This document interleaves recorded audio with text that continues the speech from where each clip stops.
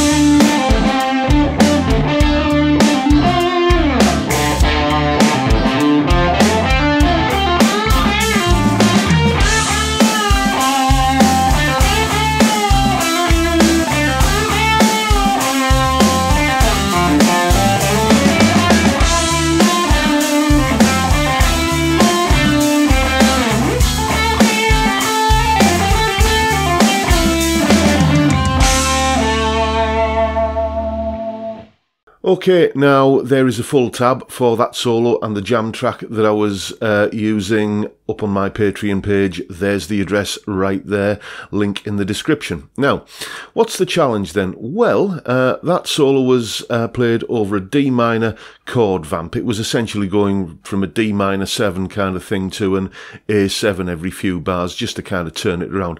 And predominantly what I was using there in terms of playing over that was a D minor pentatonic. One or two other notes kind of creeping in from time to time, but I would say well over 90% of it was D minor pentatonic. Now, hands up. Um, if you're going to play a D minor pentatonic solo, how many of you would probably start in this pentatonic box and possibly stay there all the way through? Yes, indeed. I'm imagining quite a few hands in the air at the moment. And there's nothing wrong with that particular pattern. I don't want to kind of say that you shouldn't use that. But what you should do is force yourself out of your comfort zone from time to time. Okay, uh, how about doing what I just did there, which is to play an entire solo uh, where you don't use that pattern at all. Okay, so this is going to force you to start thinking whereabouts uh, the notes, the, the right notes of the pentatonic scale D, F, G, A, C, if you're thinking in terms of D minor pentatonic, where else those notes are on the neck. Where else can you find them? What other shapes and patterns and licks and runs and so on begin to suggest themselves?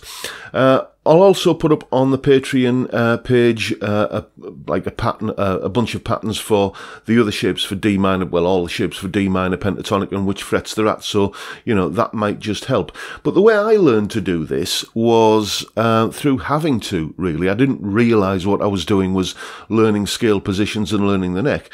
When I first started playing lead guitar, and I've talked about this a few times, I began on a Woolworths Top 20 guitar which was essentially um, a bunch of sharp edges held together with a guitar shaped lump of plywood. It was a horrible instrument, but you know, I loved it at the time because it was an electric guitar and it was mine.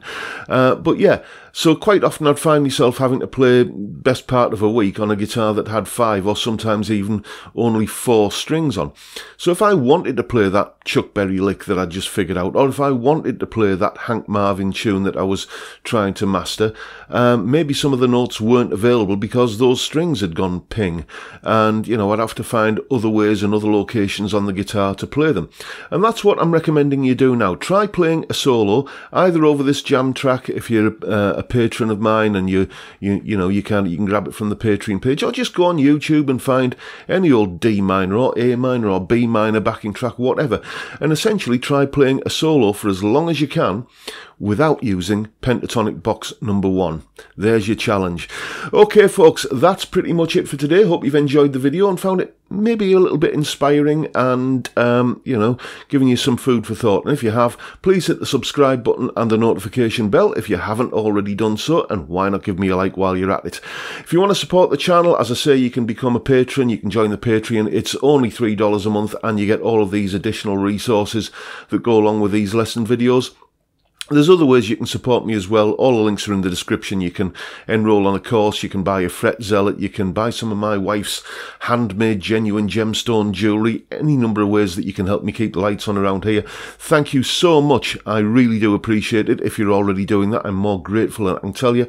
And thank you in advance if you're thinking about doing it. And with that, I'll bid you all a good day and say thank you so much for watching. Thank you for your time. Look after yourselves, folks. Stay well, stay safe, and above all, stay sane. Bye for for now.